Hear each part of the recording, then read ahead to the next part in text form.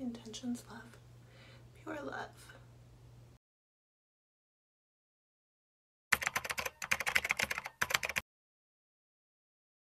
Hey guys, welcome back to my channel. My name is Healing Honey. If it's your first time here, then welcome. So you guys, the other night I was chilling.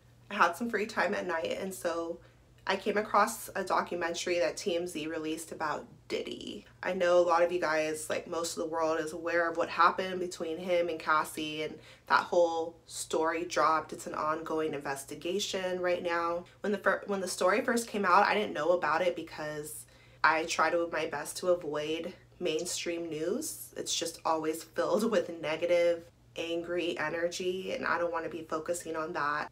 I, I know for a fact that there's a lot of dark stuff that happens in the entertainment industry in general, whether it's the music industry, the film industry.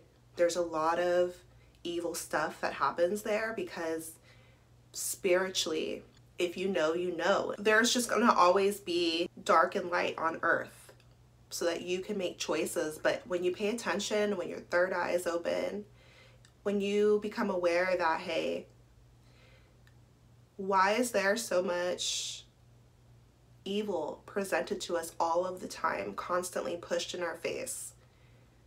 It's not that you have to go searching for it or seeking it, it's instead pushed in your face. And so you have to protect your energy. You have to be mindful of what you consume. I watched a documentary on what happened. It was like an hour documentary on what happened and it's interesting, you guys. When I was growing up, I thought I might be an entertainment journalist. I was fascinated with writing and communication and sharing, just like I am with you guys right now. But I loved music, and so I thought, hey, like let's talk the, the stars, glitz and glamour, because I'm from LA, and so it was always right around the corner, Burbank and San Fernando Valley, downtown LA, and Hollywood. Growing up in the 90s, Diddy you know, Bad Boy Records and West Coast versus East Coast, Tupac, Biggie, all that stuff was popular. So everybody knew who Puff Daddy was, right? We called him Puff Daddy back then. He's had a few names since then, right? And so I was interested in the documentary because I was a fan of him growing up, a fan of his music. And I even had a crush on him when I was in fifth grade. and I made people call me Puff Mommy. So, you know, it was so funny. And I remember even just a few years ago following him on Instagram. And um, I had got some weird vibes. So I unfollowed. When the story came out, I was shocked, but I really couldn't be surprised. You guys, I want you to remember that what we call celebrities, they are just normal people like me and you. And after seeing that, it reminded me why I created this channel and what I'm here to like really share with the world, which is like why we need healing, everyone. You have to heal so that you stop hurting others. I was disturbed by these allegations, what has allegedly happened between him and his ex-girlfriend and a lot of other people, but I'm not fully surprised because hurt people hurt other people and we are all connected and so we have to take responsibility for our own healing or else we're going to hurt others and so this video is not really about any specific person it's not about their situation but more so like what we can learn from it as a collective like as people on earth, right? Because a lot of times we have this idea that what we do only affects us, but it's not true. Whether it's a celebrity or your next door neighbor or your child, your husband, yourself, whatever you do, it affects everyone else. So it's not just about us. We're connected whether we like it or not. It's just that celebrities are put in the limelight so their faults and their mistakes and their behavior is highlighted. And I don't believe that we should be celebrating anybody's downfall, celebrating anybody's pain, anybody's trauma. You know, like um, I'm really proud of Cassie for standing up for herself and speaking up because it's important and it's given other people a chance to hear and see the reality of what all kinds of people go through in silence. So when you are a so called celebrity, you have the chance to have your voice heard. You have to heal so that you stop hurting others. When I was listening to the documentary, a part that stood out to me was when they were talking about uh, Diddy's upbringing in New York and how his father was murdered when he was only three years old. Okay, and so when I talk about healing on this channel, it's going to look different for everybody individually.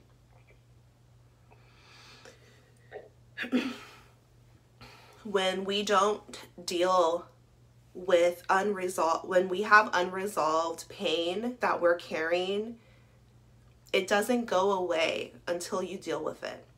And it's very hard to let something go that you refuse to deal with. And so it could be something big, it could be something small, but when we just try to ignore pain, when we try to ignore things that have really shaken our world up, we're going to push that pain and put that pain on other people. A lot of times, it's those closest to us. There are so many tragic stories of like Marvin Gaye, Selena, where people closest to them killed them, right? And so because they were carrying pain. So whether it's something like jealousy, whether it's something like anger, whatever issues, like we have to face them within ourselves or else we're going to hurt people, even people we love. You have to heal so that we stop hurting other people and you know, the entertainment industry, it's painted as one thing, but I know there's a lot of dark stuff that happens behind the scenes. And so there's talk about, like, for example, Diddy's sexuality and things like that, what he's maybe done to other people, but we don't know what he's gone through either. And so I'm not here to defend anyone. I'm just saying that when we don't face ourselves, eh, we're gonna lash out on others. And anger is a human emotion, it's very real. I don't care if you're Buddha, right? Like, no matter who you are, we have our emotions are powerful. And so we have to be able to face ourselves and take control of our own emotional state and face things that have hurt us. I know some people like to detach from their emotions, but for me, I've found it to be powerful to feel them because you honor yourself in that way. You validate yourself in that way. Like, okay, something crazy has happened to me, or I've experienced some type of pain in my life. Let me go back to that place and just deal with it. When you don't deal with it, you're carrying it year after year, day after day, and it's gonna come out in one way or another. And so it's okay to feel pain, it's okay to feel mad or sad or grief or anger, rage. They're just emotions. We are not our emotions, but we honor ourselves by acknowledging it, validating ourselves to be like, wow, like I'm allowed to be mad, sad, frustrated, you know, feeling grief, feeling pain. I'm, a, I'm allowed to. And validate yourself and be in that, resolve it, be there for yourself. It's no one else's like job or responsibility to do this for you. No one else can do it for you. It's a very individual thing. And so we all have things in our past that maybe we're ashamed of or that we wish went differently, things that we experienced when we were kids or older, things that were outside of our control or things that we chose to do. But it's okay. Like, this is your own personal path in life. A lot of times we've agreed to things before we even incarnated because it was teaching us spiritual lessons. Like when something happens truly unfair in your life that you deem to be unfair, it happened for a reason so that you could learn what compassion is. Sometimes forgiveness doesn't mean that the other party involved is sorry. It just means that you have learned to be stronger than the problem and found love in your heart. Can you do it? It's not easy to do, but it's possible. And when you tap into love and when you tap into forgiveness, when you tap into compassion, You're going to build inner strength and you're going to rise above it. You're going to soar up in the sky and you're going to learn to let it go. But it doesn't mean it's an easy process. But what so many people on earth do is we pretend and we've been taught to ignore ourselves, ignore how we feel. Who cares how you feel? Get over it. Bad things happen to everyone. So, oh well, there's a lack of compassion, a lack of empathy, a lack of lo- love. For self, we've been taught that, oh, if you're focused on yourself, you're selfish. If you focus on yourself, you're whatever. Just focus outward and be tough and strong. But true inner strength is about being gentle with yourself, softness and love within. Now that's strength. Can you do it? Can you face yourself? Can you be there? Can you be vulnerable with you? It's not about others, it's about you. When you give yourself grace to just be a whole mess, it's just in the moment, it doesn't define you. We're so many things. We're just experiencing emotions. We're just experiencing life events. They don't have to define you, and it is not all that you are, but it's a part of your process. If you, because we have decisions to make. So, are we going to let our pain, like, are we going to learn to heal it and overcome it, persevere, or are we going to let it, like, ruin us, stifle us? Cause other pain, when, when we don't deal with the pain that we have endured in life, when we don't deal with it, we continue to pass it on and it multiplies because we're connected. And so, in a relationship like with Diddy and Cassie, I'm sure somewhere in there there was a feeling of love that they had for one another, but it was mishandled, right? And so that's why we have to learn to take accountability for ourselves and humble ourselves. And it's about choosing your spirit over your ego. Mm. We're getting deep on today's video, you guys, which I love to do. nah, it's like real and it's I love sharing with you guys what I've learned on my journey and so what has helped me truly to just feel happier inside and inner peace. It's really beautiful. it is a sacred, personal journey, but you can do it too. We all can. And so when I see stories like that, yeah, it's super crazy, but deeper I look deeper. And I know that as humans, we all have these egos, which are like the exterior, but it's not who we really are and our mistakes don't define us now. If you've gone through something crazy, I do want to I do want to point this out. Yes, compassion, yes, love, forgiveness, the higher road. A lot of times the higher road looks like boundaries, setting boundaries, self-respect, learning how to walk away. When I see something like this from Cassie's perspective of what she may have meant to learn what she was probably meant to learn through a situation like this is tapping into her inner strength by walking away, by choosing herself, by so many spiritual lessons and I uh, some of the things that I've seen in this life, you guys.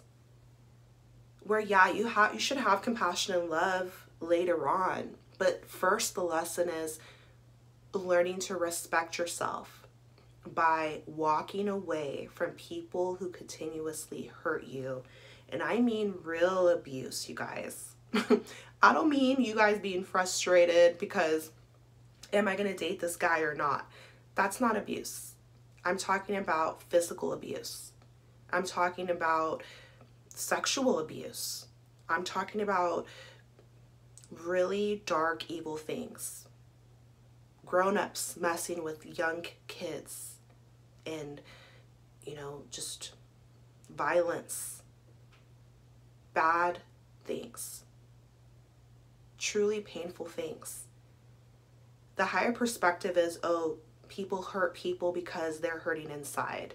Yeah but if you find yourself or have found yourself in a situation like that when I say compassion, love, forgiveness, I don't mean you stick in that situation and just endure it. No, I mean the spiritual lesson and the growth happens when you can separate from it. Heal. Heal yourself so that you stop hurting others. Heal yourself for, for you. So this means self-love, facing our own darkness, taking accountability, but also being able to see the human in others.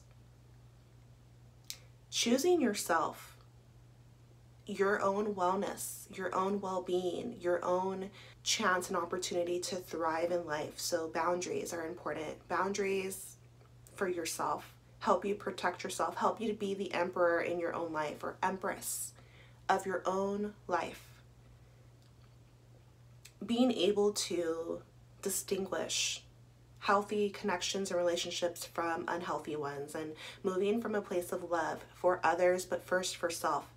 How can we really love others or be connected to people in healthy ways if we don't first love ourselves and respect ourselves and have a healthy connection to ourselves? And so that's why I love sharing with you guys about self-love because it matters. It's number one. It's important any other relationship in your life, it stems from the one you have with yourself, even with Diddy and Cassie, right? Because if you're feeling chaotic inside and you have unresolved issues inside, now the relationships in your life, they're branching from that. Think of yourself as a tree with deep roots. And all the relationships in your life are the leaves on that tree. So you have to take care of the roots, like you have to take care of you inside your internal world, your state of being first. It's gonna affect everything else. And so, same thing with Cassie, right? Because you wanna be in a healthy mental space. You just wanna take care of you, you guys, okay? And so, I hope that something in this video resonated for you. I'm sending you so much power on your journey, so much healing and so much love. Take care of yourself and I'll see you in my next video.